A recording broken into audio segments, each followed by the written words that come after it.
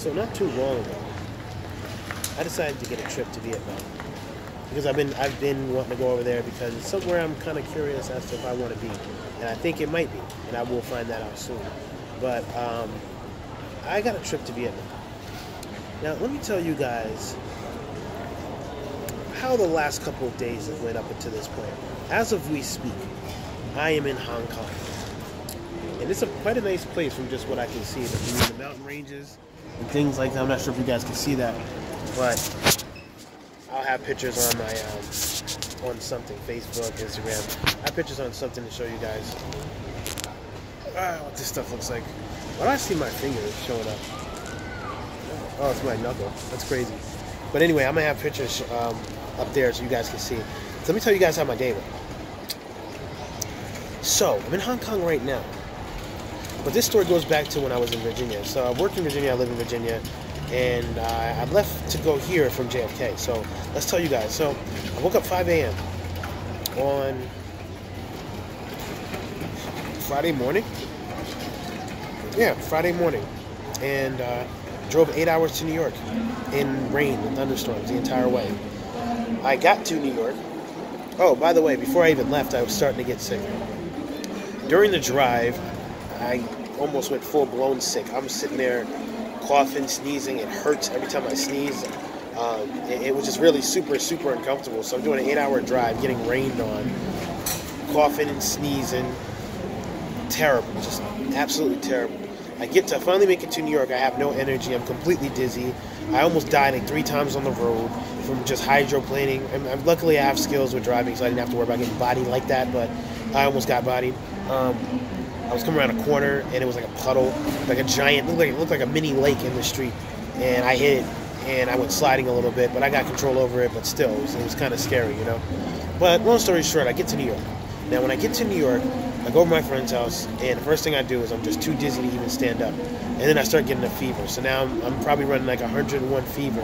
I'm freaking dying. I'm like super done. It's just finished. So I lay down for maybe like 30 minutes. I had to do a bunch of errands the nighttime comes. I have a flight at JFK uh, International Airport at like I think I had to be there at and my flight left at nine, and it's an international flight, so you always want to get there two and a half to three hours earlier. Um, so let's start from there. I I, um, I go to lay down the other night.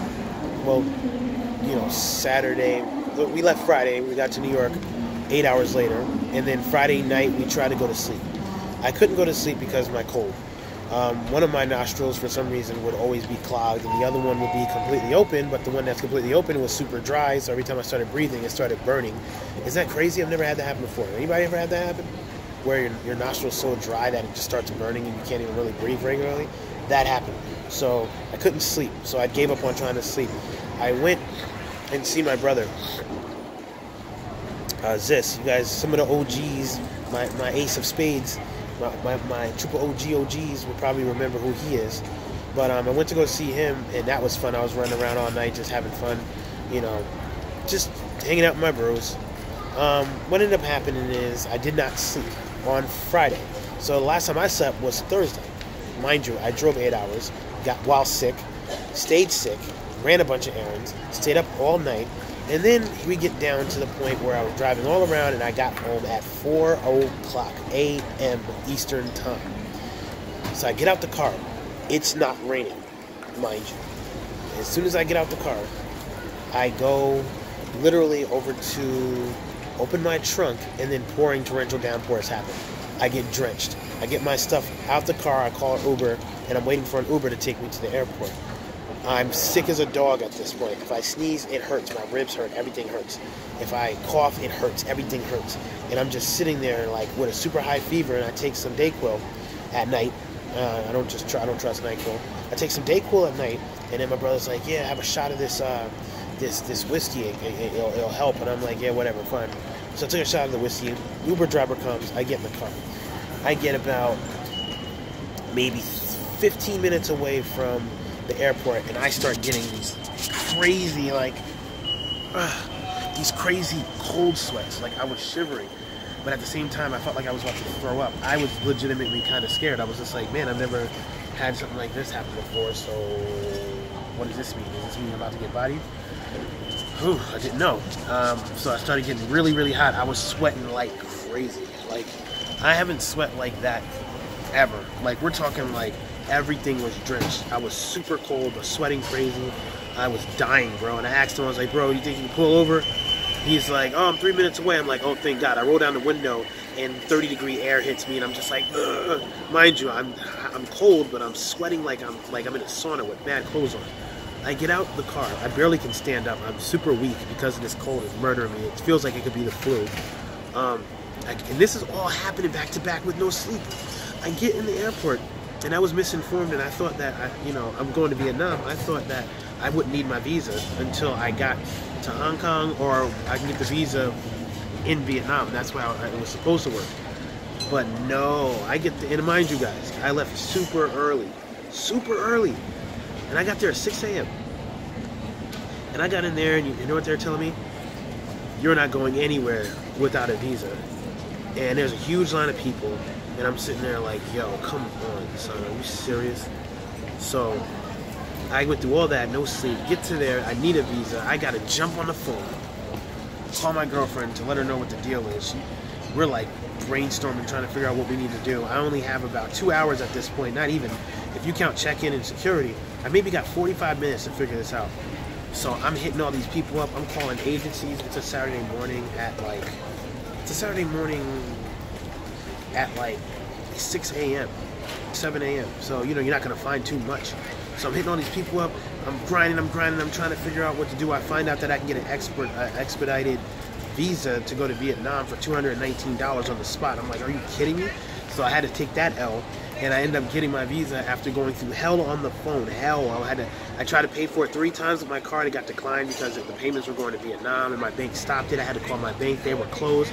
Then I had to call the fraud line. The fraud line picked up. I had to wait on hold. The entire time waiting on hold, my girlfriend's on the line with the Vietnamese number, which is uh, the customer service with the Vietnamese number. I tried to call that number from my phone; it wouldn't work. So I'm sitting here stressing the hell out. I finally get it done. I get my visa. I get in there, I get on, as soon as I get in, I have to get on the plane's reboarding, and then now I'm on the flight. I'm gonna get to what happened on the flight short, but I just wanted to let you guys know how the first couple of days of this trip went. So before I even got out the country, that's what I was dealing with, and I was dying.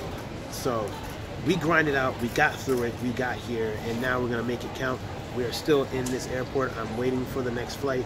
Uh, it comes in about mm, I, I got aboard in like 40 minutes. So I just want to hit you guys this quick video real quick and let you guys just know what's going on. But yeah, man, we got more coming. I'm not I'm not done with this story yet, so keep a lookout. Nah, screw it. Let's just finish it up, right? So I get on the plane, and I'm on the plane. And remember, I haven't slept. I know that there's going to be a time change. I know that I'm going to be switching time zones. So I'm preparing for that so I don't have to deal with jet lag. Because I just feel like I shouldn't have to deal with jet lag, but we'll see how that works. If you prepare correctly, you shouldn't have to.